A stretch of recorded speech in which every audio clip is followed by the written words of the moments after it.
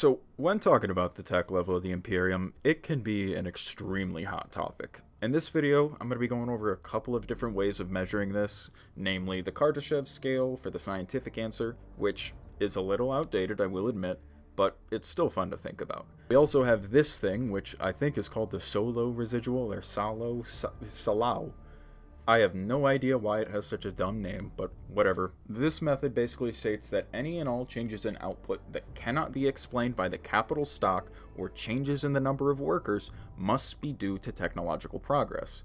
I'll be honest, this is gonna suck to work with, as it's extremely polarizing not just the environments people work in, but where people sleep and eat.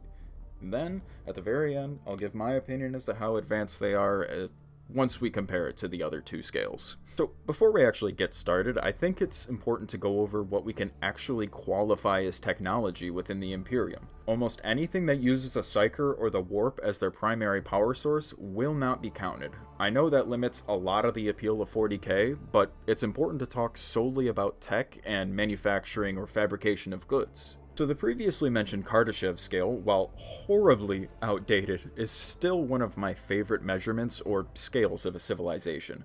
Nikolai Kardashev was a Soviet astrophysicist who posited that as a civilization grows, their usage and quote unquote consumption of power increases inversely to that of the population's expansion. For example, modern energy consumption has us sitting at a 0.72 on the Kardashev scale. The Kardashev scale defines a Type 1 civilization as consuming roughly 44 quadrillion watts of power per year. Some other measurements that might help or might just confuse you more.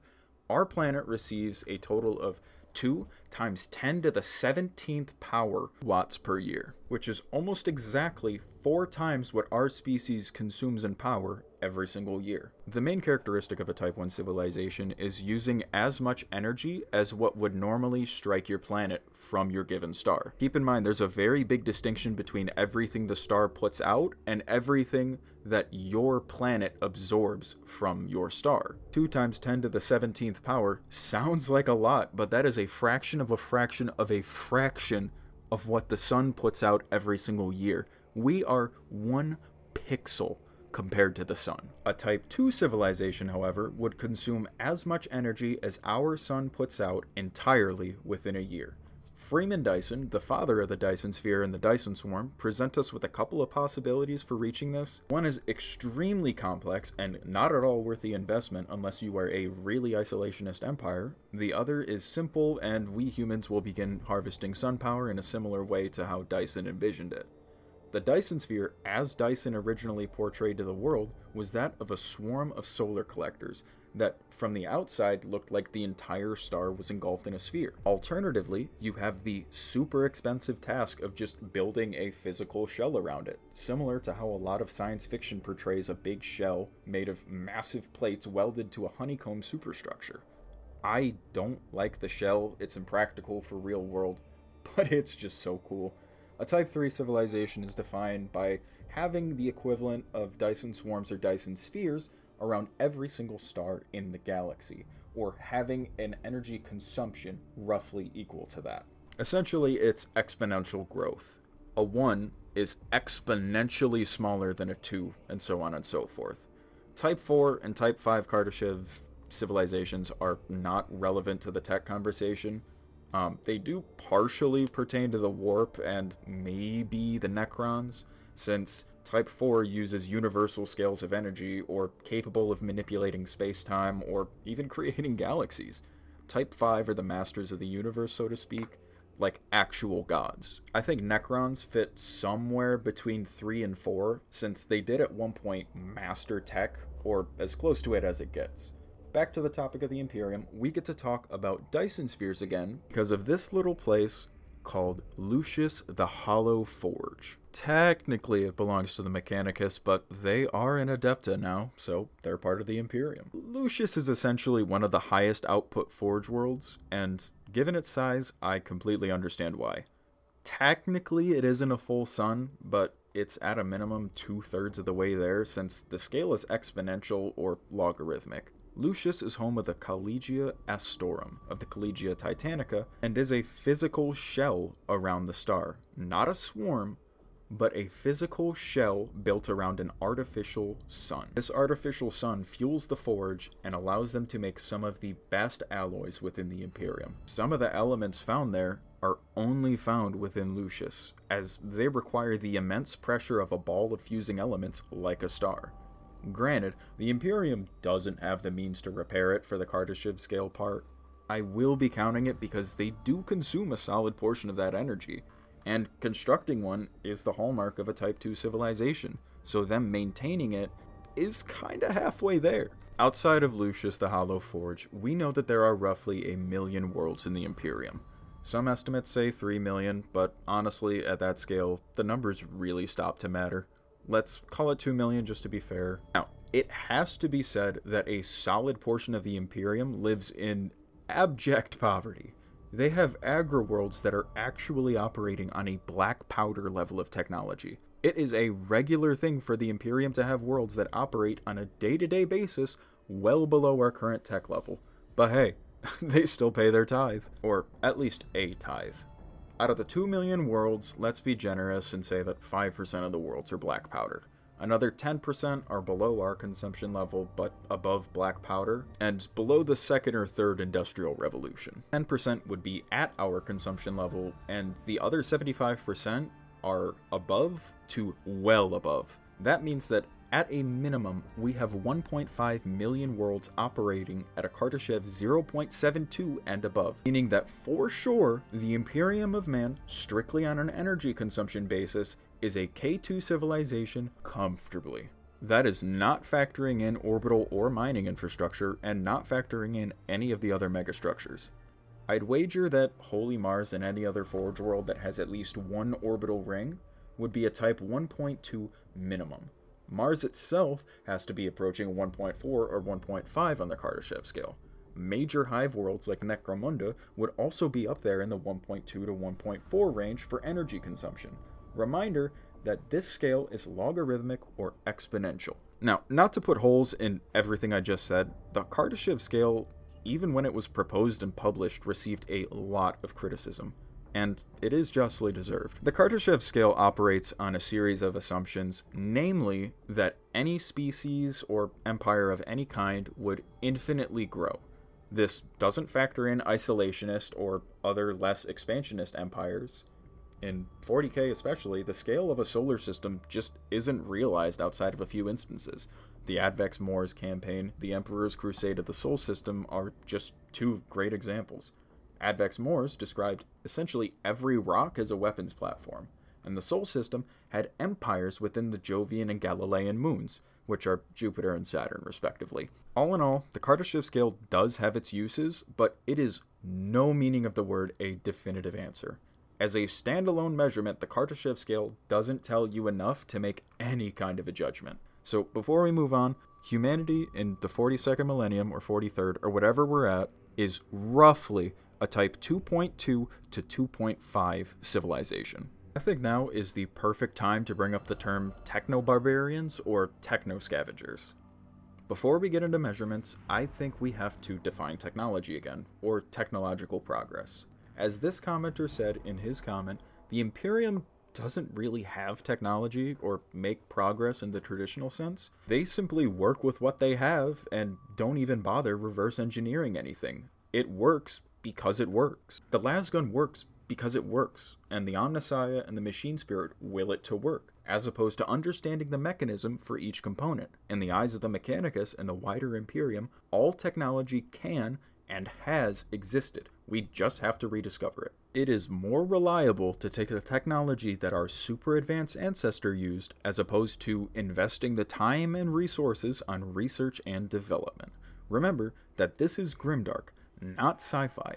The Imperium has been at war for over 10,000 years. They have been operating at a wartime economy for so long that any and all resources can and must go towards fighting the enemies of mankind. Each scientist or engineer is someone who could be in a factory producing tanks that we know work, or on the front line holding a lasgun fighting God knows whatever Xenos abomination. Dogma and religious fervor are the base fundamentals for the ecclesiarchy and the Mechanicus as a whole. Take Belisarius Cawl, for example. He actually tries to figure out the mechanism behind technology as opposed to just praying that it works. Thankfully, Papa Blueberry has allowed for Cawl to start inventing again, and the Imperium is painstakingly slowly making progress forward. Compare this to the Tau, where they have autoloaders for their ships and most weapon system. This frees up manpower that can be used elsewhere. When we look at how the Imperium does things, we have to remember scale. The Imperium is operating at such a scale that a billion people can die, and so long as it isn't on an important sector or on an extremely important planet, nobody, or almost nobody, would notice. Bringing it back to the autoloaders of the Tau, the Tau can work with autoloaders since they can spend the 30 to 40% extra material to make sure the individual is most effective. In the Imperium, the material that could be used for an autoloader is more important than the people loading the shells. The Imperium births and loses quadrillions of human lives on an hourly or daily basis, depending on the author and the faction. That means that the Imperium has a nearly renewable energy source to throw at any problem. Manpower is cheap and everywhere within the galaxy. Finding high quality alloys and spending the time and energy to forge them into new things or replace old things just isn't feasible.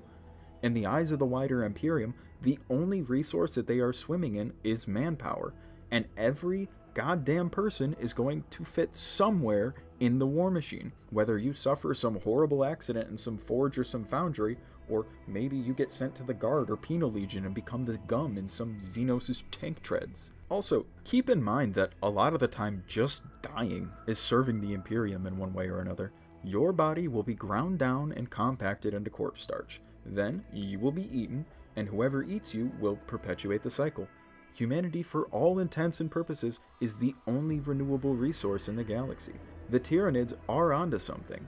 Because the Imperium operates on this brutal wartime economy, they only produce what they know works, and what our ancestors made. Bringing it way back to the beginning of the video, to one of the definitions of technology, this one more accurately frames the Imperium's technological status. Any and all increases in production without extra workers or change in capital stock is attributed to technology. By this definition, we know that the Imperium is even less advanced than the Tau, we know for a fact that servitors are still somewhat human, human-ish, human adjacent. A solid portion of the quote-unquote tech within the Imperium is just people, or at least half people. I still don't think this is a perfect example, but it is a lot better than just measuring energy consumption. By using this variable between laborers and the quality of capital, we can gauge that the Imperium is arguably the second least advanced major faction in the galaxy, followed only by the Tyranids because, well, all they have is manpower or laborers. Remember that having technology doesn't count for anything if it doesn't improve output, can't be reproduced, or is just misused outright. It also has to be said that I have no idea how to actually use the Solow residual. I am just using its definition for this.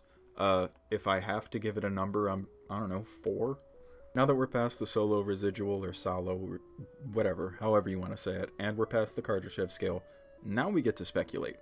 We know that during the Great Crusade, humanity, upon subsuming the Selenar gene cults, had almost mastered genetic modification. This can't be overstated. Humanity was able to manipulate their own genomes to the point where they could mass produce super soldiers. And also, people with a third eye that see into the warp. But that's not explicitly said to be genetic modification, but it also isn't too far of a stretch to think that the navigator gene was purposely placed there.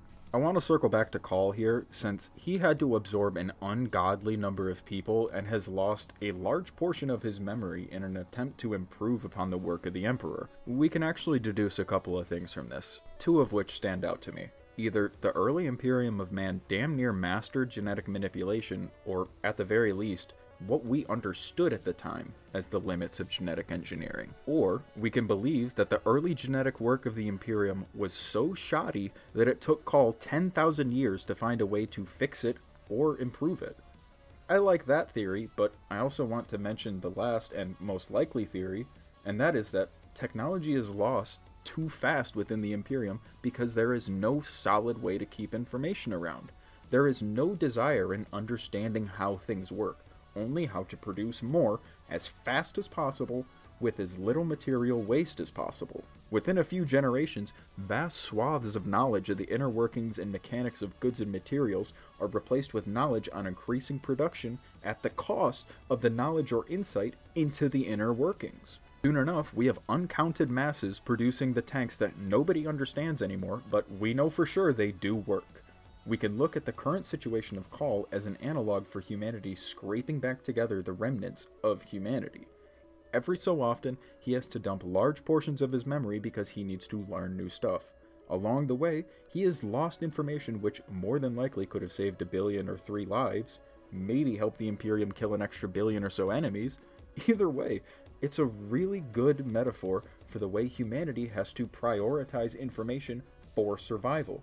Humans are the apex survivalists. It won't be pretty, and it sure will have consequences, but compared to extinction, it's no question. Just like a lizard willing to lose its tail so it can escape, we are willing to lose vast portions of knowledge if that means we can live another day.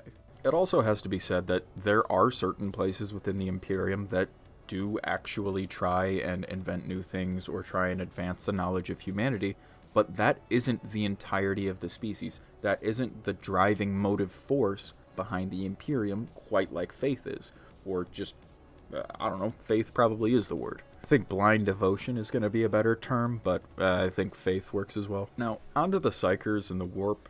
I don't really know how to fit them into a video about technology, so I can't really call it technology, but it also is because they were created by the old ones, and technically that's technology because they created us to do things, and we do things, which is go to war. Also, the only thing we've really ever seem to innovate is the use of warp powers, which, I mean, congrats, I guess, but you need technology. Did everyone forget that the Age of Strife was caused because of Psykers? The Emperor's Webway project was destroyed because of Psykers? But no, we're still gonna trust him. I don't know, I feel like I lost the point five or ten minutes ago. Uh, if you made it to the end of the video, thank you. I can safely say that the Imperium is the third least technologically advanced species in the 40k galaxy. Just, well, Tyranids are technically the least efficient because they just use bio, or like biomass. So by the Solow residual or solo, however you want to say it, they are the least advanced followed by the Amish Aeldari. I forget what they're called. I want to say Exodites, but I don't think it's that. And then you have the Imperium at third. Yeah, thank you for watching.